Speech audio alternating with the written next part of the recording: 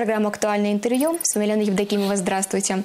На Ставрополе проходит краевой этап конкурса «Учитель года России-2024». А это значит, что смелые креативные педагоги решили проявить свое мастерство и бороться за звание лучшего. Как проходят дни испытаний, как наш регион подошел к организации конкурса и многое другое. Узнаем вместе с начальником отдела кадрового обеспечения Государственной гражданской службы Министерства образования Ставропольского края Евгением Живолуповым. Евгений Анатольевич, здравствуйте. Здравствуйте. Рада видеть вас сегодня в студии. Прежде чем перейдем к краевому этапу, давайте все-таки расскажем историю самого конкурса, с чего же все началось, вот какие предпосылки были. А, история конкурса уходит в 1990 год, то есть э, это год а, последние годы существования Советского Союза, то есть конкурс зародился еще там. А, традиция проведения профессионального состязания учителей появилась именно еще в Советском Союзе, и с тех пор этот конкурс э, уверенно шагает по э, Российской Федерации. А, в крае мы в этом году проводим 32-й э, раз краевой этап конкурса, а в Российской Федерации будет 34-й. Это 34-й раз. Два года в крае конкурс не проводился по определенным причинам. За время существования конкурса э, наши учителя, которые принимали участие в заключительном этапе конкурса, зарекомендовали себя с положительной стороны, показали свои э, высокие профессиональные качества. И результат два э, призера и пять лауреатов за время э, существования конкурса в Российской Федерации, конечно же, э, как раз является этому подтверждение. А я напомню, напомню что призеры это учителя, которые попали в пятерку лучших учителей в стране, а лауреаты – это учителя, которые попали в 15 лучших учителей в стране. И вот эти 15 учителей и эта пятерка, все они, а, как мера поощрения, встречались с президентом Российской Федерации. Это большая гордость для всего нашего края. Вот за эти 32 года, вот именно говоря о нашем регионе, претерпел ли конкурс какие-то изменения или, в принципе, вот он традиционным остается? Ну, традиционно, естественно, остаются определенные традиционные вещи. Ну, во-первых, это этапы проведения конкурса, это школьный, муниципальный, краевой э, и уже заключительный исключительный, который проводится на уровне э, Российской Федерации. И, конечно же, формы проведения, они меняются, какие-то формы появляются, какие-то, наоборот, уходят. А, остается, конечно же, традиционная форма, в том числе урок, как основное э, средство обучения и воспитания школьников. А, но в целом э, конкурс имеет уже определенные наработанные годами традиции, которые выдерживаются на протяжении всего существования конкурса. Можем ли тогда мы пару слов буквально раскрыть как раз-таки содержание школьного этапа и муниципального? Вот для начала школьный этап, что он из себя представляет? А, школьный этап э, – это как раз этап, когда обычные школьные учителя участвуют на уровне своей образовательной организации, на уровне школы, а, либо это просто может быть выдвижение от школы на муниципальный этап. На уровне муниципалитета проводится муниципальный этап, э, где э, свое мастерство, профессиональное мастерство показывают учителя как раз школ, которые были выдвинуты или стали победителями а, своего школьного этапа э, конкурса. Ну и затем победитель муниципального этапа выходит на краевой этап. А в этом году когда же проходил муниципальный этап? Э, муниципальные этапы э, прошли в декабре прошлого года, в январе текущего года. И февраль – это как раз месяц проведения краевого этапа нашего конкурса. И сколько же было отобрано учителей к краевому этапу? В муниципальных этапах приняло участие порядка 500 учителей. Но это довольно серьезная цифра. И на краевой этап вышло а, порядка 100 человек. Ну, если точнее, 94 человека. А, если мы возьмем по номинациям, а их 4 а, в нашем текущем конкурсе, в номинации «Лучший учитель» у нас принимают участие 34 учителя. В педагогическом дебюте 32 учителя. А в лучшем учителе родного языка и родной литературы принимает участие 19 учителей. И шаг в профессию 9 будущих учителей, то есть это студенты последних курсов педагогических специальностей наших вузов и колледжей. Угу. Вот э, помимо последней номинации, все остальные имеют все-таки большую конкуренцию, да, более 30 человек, участников. Есть за что побороться, есть. А когда же стартовал краевой этап? Краевой этап стартовал 12 э, февраля 12 февраля в школе номер один э, с углубленным изучением английского языка города Ставрополя э, как раз и был э, дан старт нашему краю, текущему краевому этапу конкурса. Э, как я уже сказал, четыре номинации.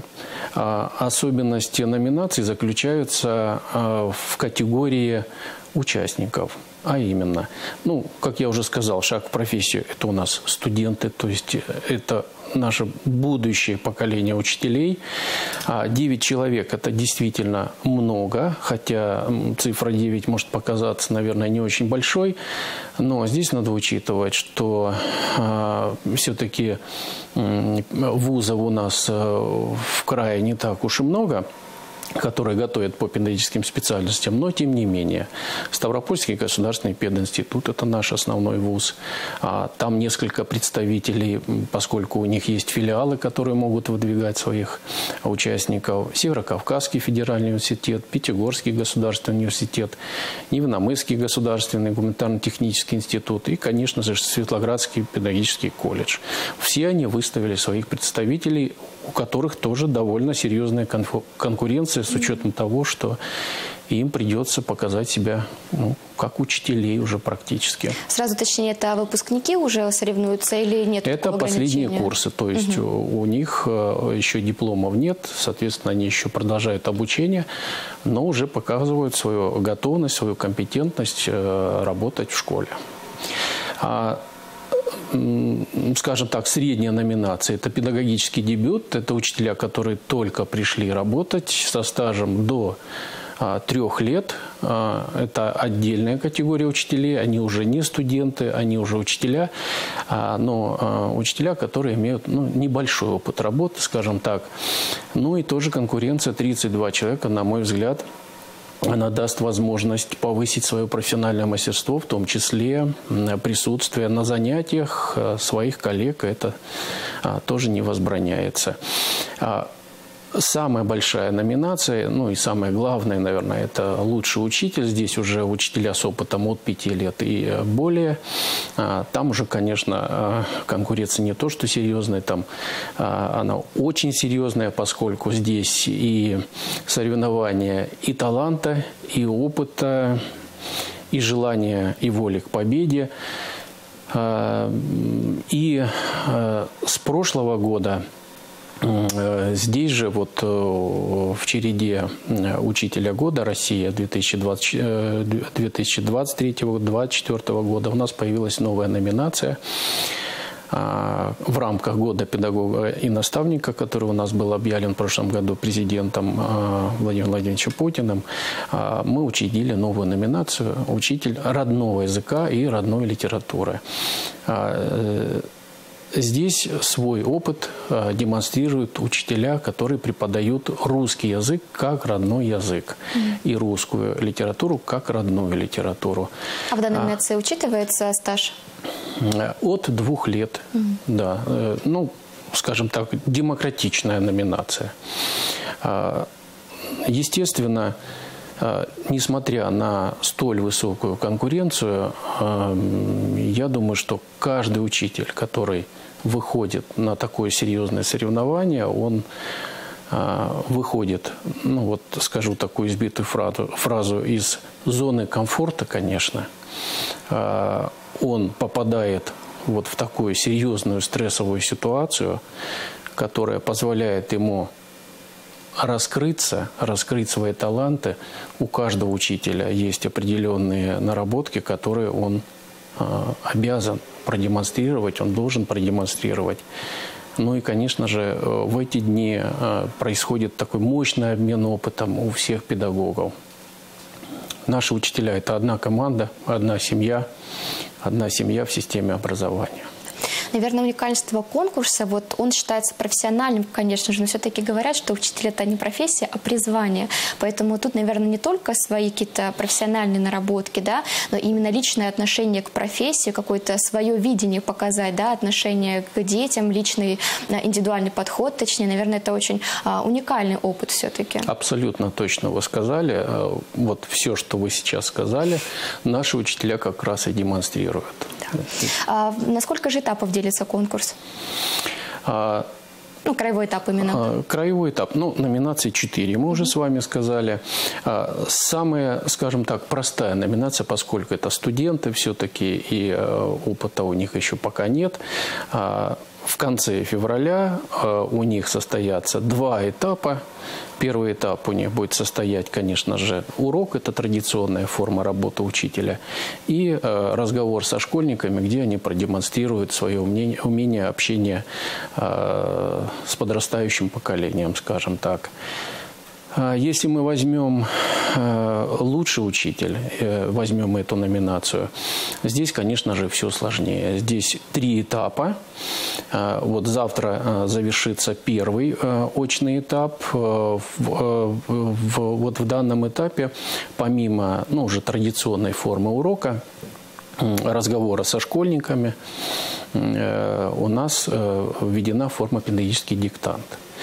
А, довольно интересная форма. В этом году а, состоялся а, диктант по, э, по трудам, по методическим трудам Константина Дмитриевича Ушинского, 200-летия которого мы в прошлом году отмечали. Текст был по вопросам воспитания на принципах народности. И здесь учителя продемонстрировали как раз вот э, у нас текущий год год семьи, который тоже объявлен нашим президентом, как раз они продемонстрировали свои компетенции, свое умение связать свой опыт которым они сейчас обладают, с тем опытом, который берет свое начало именно в трудах, в том числе Константина Дмитриевича Ушинского. Второй очный тур, э, в который из 34 человек уже выйдет, выйдет 15, то есть первый тур завершится отбором 15 учителей, они выходят и далее демонстрируют мастер-класс и участвуют э, э, в конкурсе «Вопрос учителю года». И уже по завершению второго тура, это уже будет 20 февраля, а, состоится третий очный тур, по итогам которого а, в который выйдут пять человек, по итогам которого уже, ну, наверное, мы где-то поймем, кто у нас в этом году будет призером и победителем. А, в третьем туре довольно интересный конкурс «Слово учителя», где учителю нужно будет представить э, свой опыт, э, представить, выступить по какой-либо теме в течение определенного времени. Педагогический дебют, там, где у нас молодые педагоги, там тоже три очных тура. А, но они несколько попроще. Там будет и учебное занятие, ну, то есть урок, а, и публичное выступление, и презентация опыта работы, и завершится это все решением педагогических ситуаций. А, лучший учитель родного языка, родной литературы будет состоять из методической мастерской, классного часа и мастер-класса. Ну, вот такие испытания в этом году а, придумали учредители конкурса для наших учителей. Очень интересная система, что не по общей сумме баллов э, выявляется победитель, а по каждому туру, по каждому а, конкретному испытанию. Вот эти испытания, они из года в год меняются или также Конечно, они конечно, они угу. меняются и довольно значительно. Мы ориентируемся на те испытания, которые проходят на уровне Российской Федерации на заключительном этапе. Берем оттуда, конечно, самое лучшее – и применяем на практике уже у нас в крае. Но проведение урока – это, наверное, все-таки неизменная часть А это абсолютно, она должна быть, она была, есть и всегда будет, потому что это основная форма работы учителя с детьми. Вот мы с вами уже начали говорить о конкурсе и забыли сказать об открытии. Как же прошло открытие конкурса? Поделитесь. Открытие конкурса у нас проходит всегда очень торжественно. Э, в этом году, помимо участников, мы пригласили абсолютно всех членов жюри и председателей э, жюри, и э, экспертов, которые оценивали вот, первые очные туры, которые производили предварительный отбор наших учителей. Присутствовал министр образования Ставропольского края Мария Викторовна Смагина, представители профсоюзной организации, то есть вот э, и э, Институт развития образования Ставропольского края. Вот вы уже сказали о членах жюри, вот расскажите подробнее, кто же включен в этот состав? А, члены жюри у нас э, тоже каждый год, естественно, меняются. Ну, во-первых, у нас в этом году а, члены экспертных групп, которые состояли из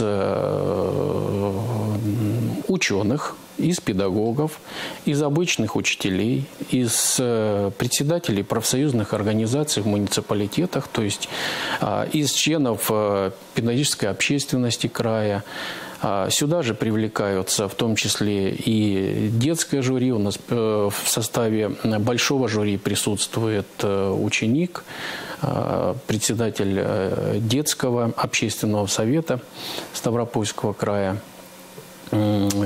Поэтому э, привлекаются ученые из всех педагогических вузов нашего края. Э, поэтому состав жюри очень компетентный, очень э, широкий, представлен абсолютно разными людьми и даже разных профессий. Да.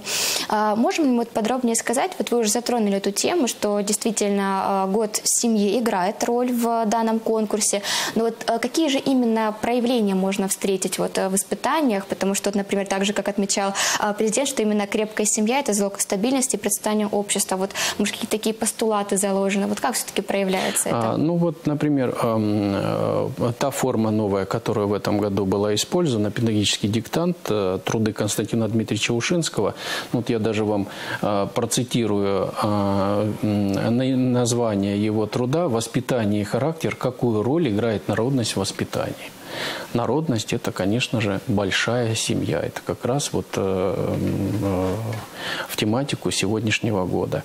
А, кроме того, а, разговоры со школьниками, они все абсолютно, в том числе, э, я уверен, идут как раз с использованием этой тематики. Года семьи, конкурс «Лучший учитель родного языка, родной литературы» уже говорит э, сам за себя. Родной язык, да. родная литература, родина, народ, семья. Ну, естественно, тут э, практически весь конкурс пронизан именно вот этим направлением. Да, все-таки, да, это такая основа, от которой никуда не уйти. Евгений Анатольевич, а на базе чего же проходит краевой этап? А я уже сказал, это школа номер один города Ставрополя с углубленным а, изучением а, английского языка. Весь угу. этап там угу. проходит. А, конечно же, э, на образовательную организацию определенная нагрузка э, легла э, на руководство, на педагогический состав, которые, ну, скажем так, достойно справляются с оказанным им доверием. Я думаю, школа же была выбрана не просто так. Какие вот требования к площадке проведения? Ну, во-первых, э, эта школа, она прошла капитальный ремонт в рамках национального проекта образования. Школа технически хорошо оснащена. Вот, в школе имеется достаточный э, состав школьников достаточно компетентный, подготовленный.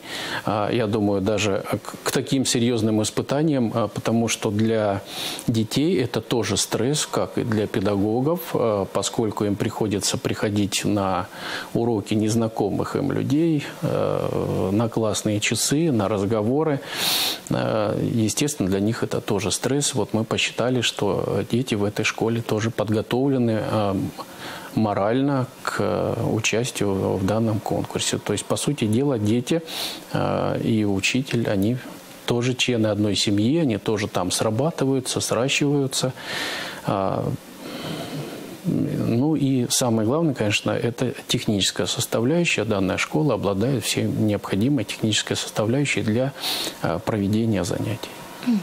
Вот много об учителях вопрос. Не отвлекает ли это сильно от учебного процесса? Или вот как совмещать работу с конкурсом? А, ну, во время конкурса учитель э, работу с конкурсом никак не совмещает, поскольку а, все отрываются от своих э, обычных учительских дел, приезжают в город Ставрополь, и в течение конкурса, вот сколько он идет, э, они все находятся здесь в течение этого времени. А там на месте администрация межшкол организуется замещение занятий, естественно. Ну и конкурс – это же всегда, ну скажем так, выход за пределы своей образовательной организации. Конечно, а, для учителя это имеет огромное значение, поскольку у него есть возможность увидеть что-то новое.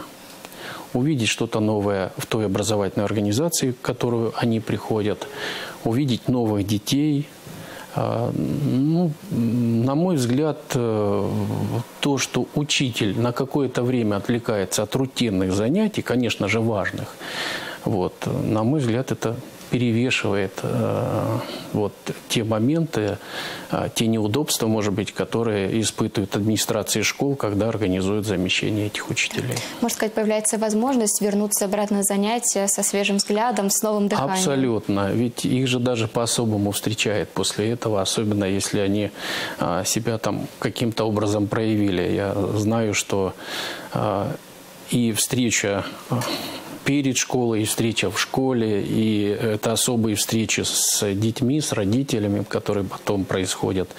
Ну, это как раз вот э, те моменты, скажем так, морального удовлетворения, которое получает учитель уже по завершению конкурса. Да.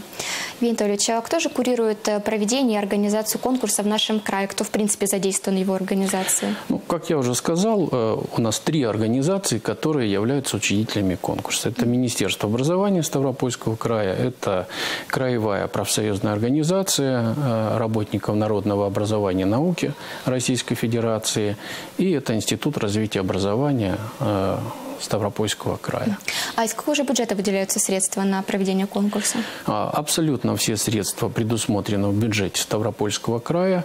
Это серьезные средства, а, ну вот порядка двух с половиной миллионов. Это именно средства призового фонда. А плюс еще предусмотрены средства на само проведение конкурса.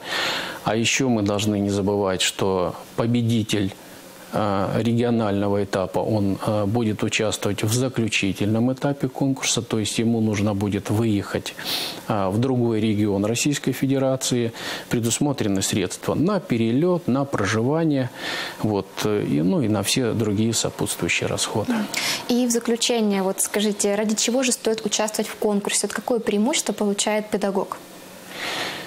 Ну, в конкурсе стоит участвовать только лишь потому, что это получается какой-то новый опыт э, в жизни учителя. А, может быть, он покажется, особенно если ну, человек не станет победителем, может, он покажется где-то ну, не очень положительным на первый взгляд, но на самом деле это большое движение вперед. Это победа над собой, потому что э, публичность, которую нужно проявить, э, вот эти все моменты неожиданности, когда нужно реагировать на те или иные э, моменты, происходящие на конкурсе. Это нужно делать быстро. Не всегда члены команды рядом, которые помогают там где-то подготовить какие-то мероприятия. Вот. Э, это все как раз способствует э, повышению профессиональных компетенций учителя. То, что должно быть ну, обязательно. То, что должно быть с нами всю жизнь. Потому что ну, невозможно на одном месте а, все время топтаться. Движение вперед – это, в принципе, это жизнь. А, ну и, конечно же, немаловажную роль играет меры и материального стимулирования. А, я уже сказал, что призовой фонд конкурса порядка 2,5 миллионов рублей – Но если мы говорим о первом месте для лучшего учителя, это 500 тысяч рублей. Второе, третье место – это 400-300 тысяч, соответственно. В номинации «Педагогический дебют» – это 200, 150 и 100 тысяч. А шаг в профессию, ну, это, скажем так, студенты, для них эти суммы тоже будут очень значительные. Это 70, 50 и 30 тысяч. И номинация «Лучший учитель родного языка, родной литературы» – это 300, 200 и 100 тысяч. Но и здесь еще важно помнить, что Дума Ставропольского края, она тоже неравнодушна к вопросам образования. У нее тоже есть свой призовой фонд. Я знаю, что в этом году они готовят изменения, и он станет даже выше. И плюс профсоюзная организация э, края, она тоже э, вкладывает э, определенные финансы в поощрение наших педагогов. Да, Евгений Анатольевич, действительно, такие слова сказали и про нематериальный, и материальный. Это очень сильно мотивирует к участию в конкурсе. Я благодарю вас, что вы нашли время прийти к нам сегодня и рассказать, как же проходит краевой этап. Но остается только пожелать удачи, конечно, нашим конкурсантам и выйти на самый высокий уровень. Спасибо вам. Спасибо. Дорогие зрители, у нас в гостях был Евгений Живолуков, начальник отдела кадрового обеспечения Государственной гражданской службы Министерства образования Ставропольского края. И, как всегда, до встречи в эфире актуального интервью. И оставайтесь на своем.